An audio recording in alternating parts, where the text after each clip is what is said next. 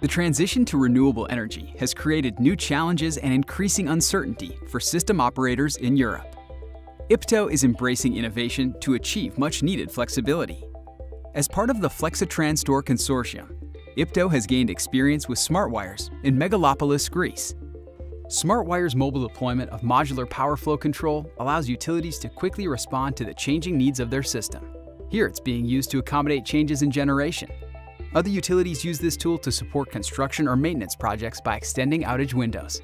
Uh, what we aim to do at the FlexiTran-Store project is to highlight the importance of flexibility in uh, power systems and in particular by testing this device we aim at uh, showing an alternative way of uh, mitigating uh, transmission congestions and also hedging uh, uncertainty in expansion planning. The actual installation process took about uh, two and a half days of outage.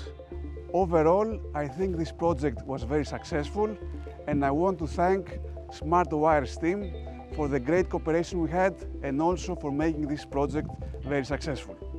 What's uh, a highly positive attribute of this solution is that it requires significantly less lead time and much lower investment costs than constructing a new transmission line. Moreover, this solution is redeployable, which allows us to plan and uh, redeploy it in various parts of our grid. So if you had asked me 10 years ago, I would certainly would have not predicted this uh, solution being implemented today. As we are moving towards the next 10 years, the only sure thing is the uncertainty that we are facing.